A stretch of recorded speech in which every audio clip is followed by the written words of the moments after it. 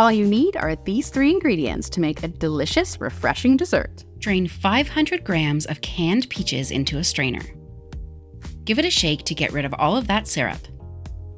Transfer your peaches into a small food processor. Blitz until you have a smooth puree. It should look like this. If you haven't got a food processor, you could do this in a blender or with a hand mixer as well. Alternatively, you can really finely chop the peaches with a knife. It won't be quite as smooth and you'll have chunks of peaches in your dessert, but it'll be just as delicious. Strain your puree and use a spatula to help remove some of the more liquid parts. But don't throw away the bit that falls into the bowl. We're going to be using that later. And set that aside. Into a bowl, pour one can, about 400 milliliters of sweetened condensed milk. To this, add your peach puree and stir until it's completely combined. And pop it to the side.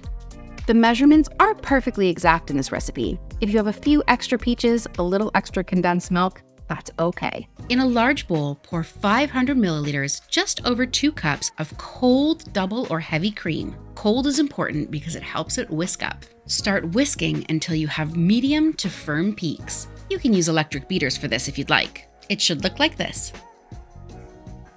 Add about a quarter of your whipped cream to your peach puree mix. Whisk that together. This will help lighten up the sweetened condensed milk and peach puree mixture, which helps it fold more easily into the whipped cream. Pour your sweetened condensed milk mixture over top of the remaining whipped cream. Gently start to fold it together. Once the whipped cream is mostly dispersed, you can switch back to a whisk to combine in those last little bits of whipped cream. Pour the mixture into a medium-sized container.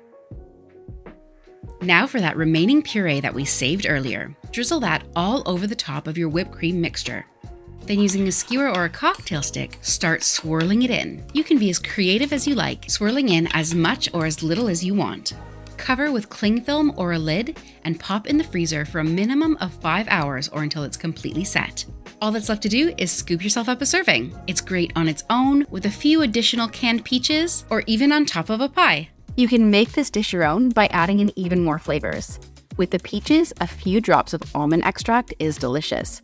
And why not stir in some slivered almonds or some candied pecans? It adds a nice crunch to this creamy dessert. If you enjoyed this video, hit the like button and make sure to subscribe because I come out with a new recipe every week. And this one goes great with shortbread biscuits. Check out my recipe here.